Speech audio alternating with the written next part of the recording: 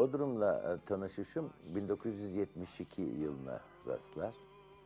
O zaman e, Çınar Oteli'nde orkestra şefiydim. Çok fazla ismim de bilinmiyordu. E, gençlik heyecanı mı desem yahut da bunalımı mı desem bir sıkıntılı bir döneme girmiştim psikolojik olarak. E, otelin genel müdürü bana bir hafta izin verdi. Ben de e, uçakla Antalya'ya gittim. Antalya'dan e, 15 günlük seferler vardı o zaman e, İstanbul İskenderun, İskenderun İstanbul arası. Giderken Ege sahillerindeki bazı yörelere uğrar, gelirken uğramadıkları yörelere uğrayarak dönerdi.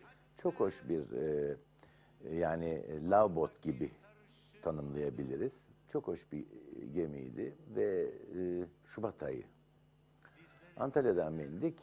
Kaş, Fenike filan diye o hiç görmediğim yerler benim o zaman. Sabaha karşı uyandım. Altı buçuk filan. Gün ağrıyor.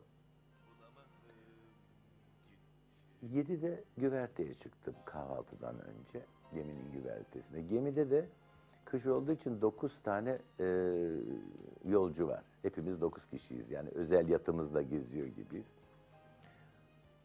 Puslu bir hava, açıkta demirlemiş bir gemiden bir anda bir kale gördüm.